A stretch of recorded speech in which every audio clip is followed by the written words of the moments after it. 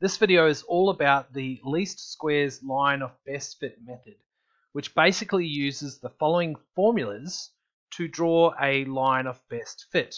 Now there are actually two versions of this video. This is the Casio calculator version.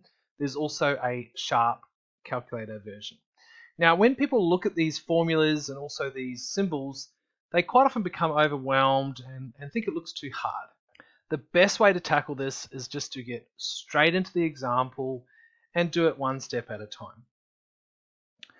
So here we have example 2. It says the table and scatter plot below represent a sample of 15 people. Each person gave their age and recorded the amount of time they were on the internet in one week.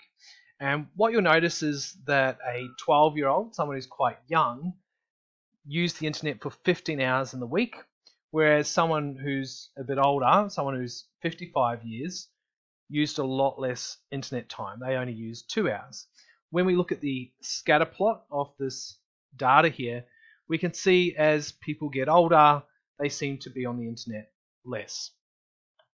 If we look at question A, it says use a calculator to find Pearson's correlation coefficient correct to four decimal places. So we're going to bring up our Casio calculator. The first thing we need to do is to clear anything that might have been stored on the calculator already. Above 9, we can see CLR for clear, so we go Shift 9, and we want to clear all. Number 3 equals for yes, and AC key to, to get out of that screen. Now we need to go into statistics mode. So we click mode, statistics number 2, and we want to click number 2, A plus BX. Now I want you to remember this A plus BX. This is going to come into play later on. In fact, I'm going to write it up on here and we're going to refer to this later on. So it was A plus BX. So we need to enter these data values into our calculator.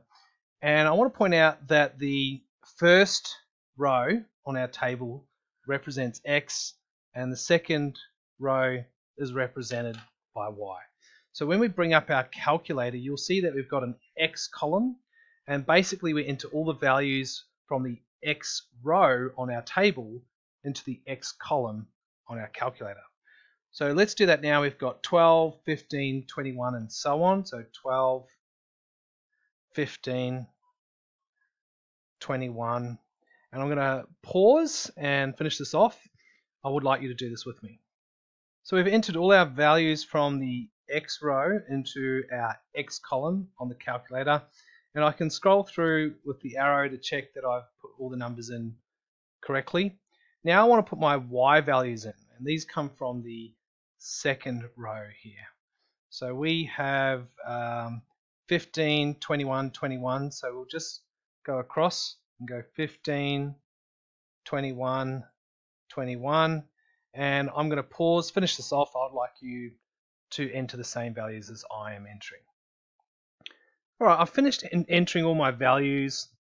We can scroll and have a look and make sure that we've entered all the values correctly if, if you need to. Now we need to find Pearson's correlation coefficient.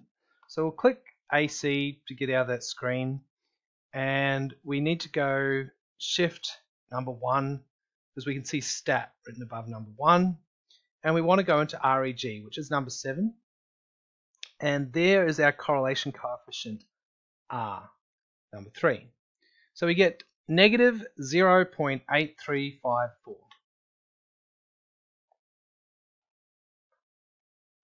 Negative 0.8354. Once you have your correlation coefficient, it's good to check it if you can. Let's look at our scatter plot. We can see that the scatter plot is going down and we got a negative correlation coefficient, so that's a positive sign. We can also see that the correlation is reasonably strong, maybe somewhat moderate, and, and that kind of makes sense with the number that we got here. All right, we're going to move now on to question B. This is the harder question. Find the equation of the least squares line of best fit. This is where we need to go back to the screen with our formulas and also some symbols that might feel quite new to you. You'll notice we have R for Pearson's correlation coefficient. We know what that is. uh, Sx, which is the standard deviation of x, Sy, the standard deviation of y, x with a bar above it, the mean or average of x, y with a bar above it, the mean or average of y. So these are the values we need to find, and it's not as hard as you might think it is. We'll write them down. We've got r, sx, sy, x with a bar above it, and y with a bar above it. Now we already found r, the correlation coefficient, which was negative 0.8354. And we've got to find four more values, which are actually not too difficult to find because you can get them just on the calculator. We'll start with Sx, which is the standard deviation of x. To get that, we're going to go in stat mode again, so shift 1. And we'll go number 5 for VAR. Now some calculators actually have something on there called SX. This one doesn't, but SX is equivalent to X sigma n minus 1. So we're going to click number 4 and then equals, and we get 13.588 we'll round up to 2. So that's the first one. So 13.588.2. Now, some of you might be wondering, what is this all about? What is x? And when we look at the table above, x represented our top row. So Sx basically means the standard deviation for our top row. And to be more specific, it's the sample standard deviation. So when we find Sy, we're just finding the standard deviation for the second row, or row Y. So we'll get out of here and go back in Shift 1 into Stat mode, VAR number 5, and you'll see Y sigma n minus 1, or some of you might have a calculator that just says SY. So that's number 7, and we get 5.6188. 5.6188. And finally, we need to find x bar and y bar. And this is just the mean of x or the mean of the top row. And this is the mean or average of the bottom row. These are also found on the calculator. I'm going to go shift 1 again, VAR number 5. We can see x bar number 2, 34.066 Let's go 7. 34.0667 and then Y bar shift 1 again VAR number 5 and Y bar is number 5 and it comes out to 12 a nice whole number. You might have noticed that I've been doing my solutions to quite a number of decimal places, four decimal places. This is because I'm going to substitute these values into my formulas and I don't want to round it to a small number of decimal places yet. I want to do it when I get my final solution. So let's go get our formulas, these two here, and we're just going to simply plug these values into our formulas. So we'll start by finding m. m just stands for gradient, and it's found by taking r, which is negative 0.8354, and we're multiplying r by the fraction sy over sx. So sy goes at the top, it's 5.6188. And we can see that sx goes at the bottom, and sx was 13.5882. Bringing up our calculator, I'm going to use the negative button. There we go, negative 0.8354. And we're going to multiply it by this fraction here.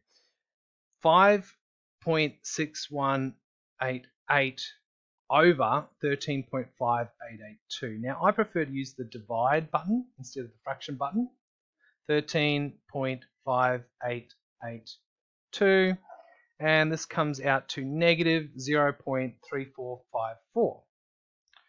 We're now going to find C. C is our y-intercept. So we'll start with y bar, which is 12, and then we're going to subtract m. Now m is our gradient from above, which came out to negative 0.3454. So we'll write negative 0.3454. And I'm going to put this in brackets. And the reason I'm doing this is so that we can tell the difference between the negative and the subtraction symbol. Next, on our formula, we can see that we take m and we multiply it by x with a bar above it. So we're going to multiply this by 34.0667.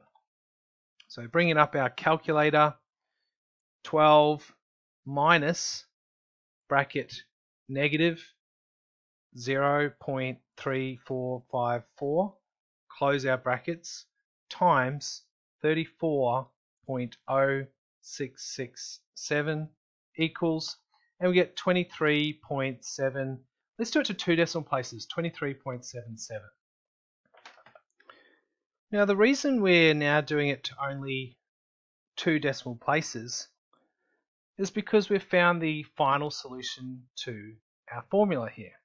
In fact, when we found the solution to m, we really want to put this to a shorter number of decimal places as well.